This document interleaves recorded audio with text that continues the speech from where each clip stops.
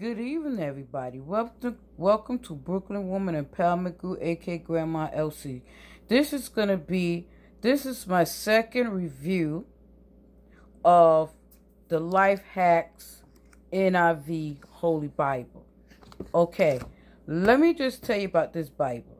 This Bible is so awesome. I am gonna do a teaching on subjects, topics that is in here. Now, as you can see, I have blocked off some um, topics to study over here. Now, I finally went through this Bible, read some chapters, and went through some of the topics. And it even teaches you how to create a faith builder journal. And it also has, what else it has in here that I can share? It also shares fellowship, intergeneration. Well, we know what that means. If you don't know what it means, look at it, look it up in a dictionary. Now, in my first review of this Bible, I had someone dislike my video. To all the crows and strolls and bowls out there that don't appreciate what people do, don't even bother to look at the video. Just take and go past it. You don't have to dislike something. You know, it's it. You know, just leave it alone. It's not for you. Don't even touch it. Okay, let's get back to this beautiful Bible. It also says how to prevent obedience from becoming legalism. And it also has four ways to develop trust in God. You know, this Bible is so awesome that you don't want to put it down. You barely want to write in it. I took notes and put it in a notebook in my planner. We also have, um, it tells you why you need more sleep. And that's Psalms 4, verse 8. And the habit is rest. Your body must rest. And it goes into page 634. Let's look at 634, people. 634. Let's see what we find here about sleep.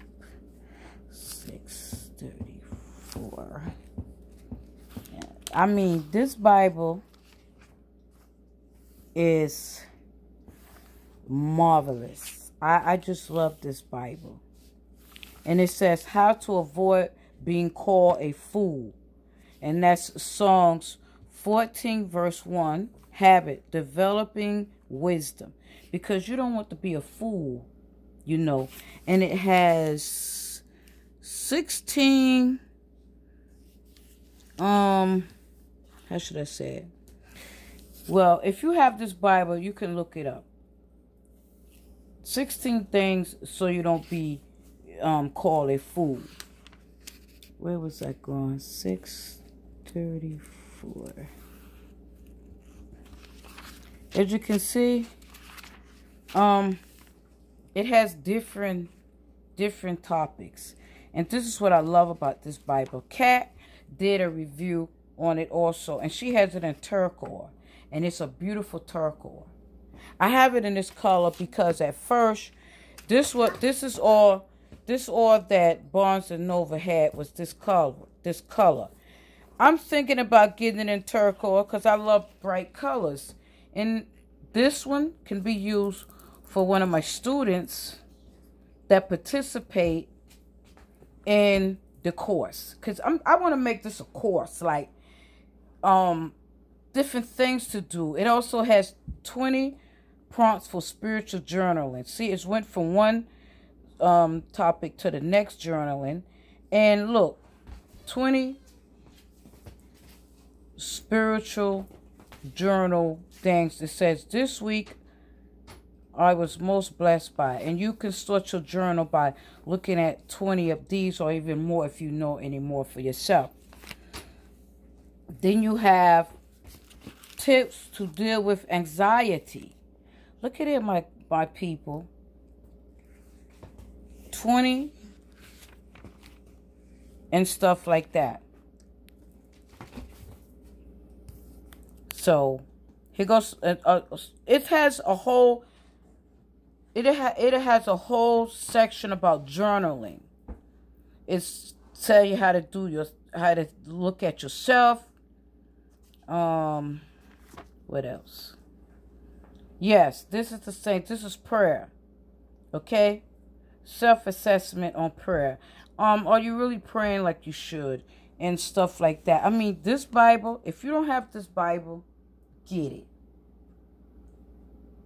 Get it. I hope the ladies that want to participate in the teaching course that I'm gonna be teaching out of this Bible. Um, the course is gonna be free for now. The only thing you have to do is purchase the Bible. That's all you'll have to do. But you know, mostly people in this day and time don't want to do nothing positive. Everybody likes to do things negative. You get like a handful of people that want to do something right. And so, as you can see, I was reading this. What prayer will God refuse to hear?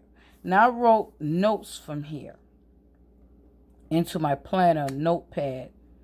And this is all of it. And it has so much to offer. And this is three requirements to be a servant leader. That means, in order to be a leader, you must also be a server. That means you must serve others. You cannot look for just to be a leader if you don't know how to serve. Okay? That's what's people problem is and time. Nobody wants to be a servant. Everybody wants to be a leader.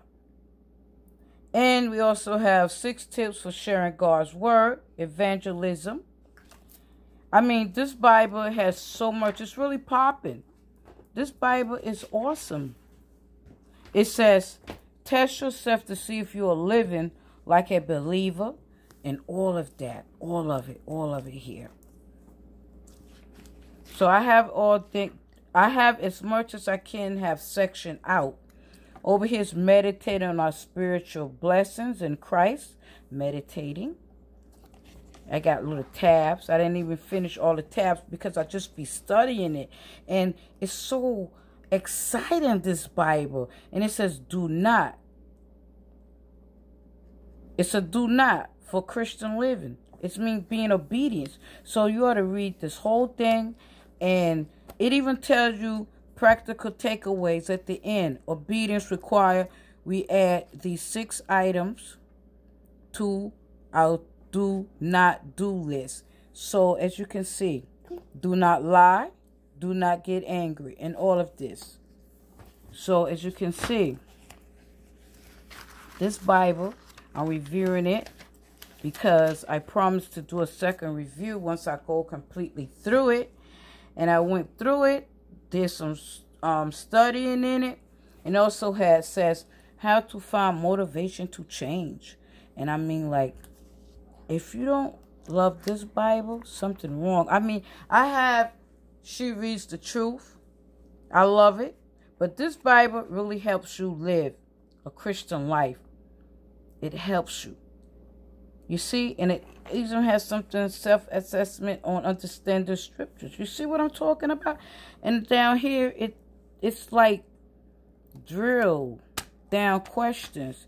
It gives you questions inside this Bible. And then it's a practical takeaway again.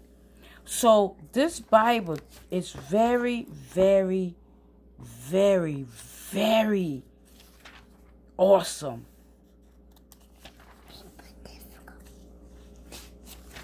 And in the back, it has end notes.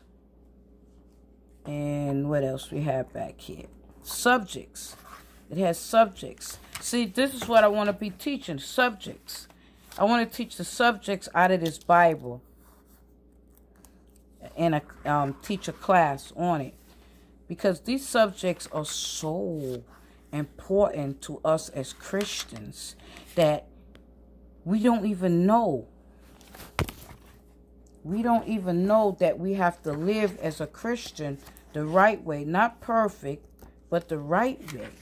So this is it for this Bible. And as you can see, I've been blocking off some subjects and I've been studying them. But you could do a full course on like rest, prayer, all of the things that God requires us to be obedience with him. So this is all from Brooklyn Woman Empowerment Group, aka Grandma Elsie.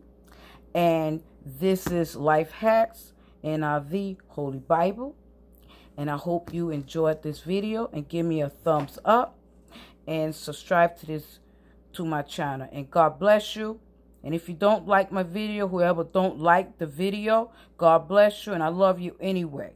Because I will know who you are when I go in on, on the laptop and find out. Okay. God bless. Have a good evening.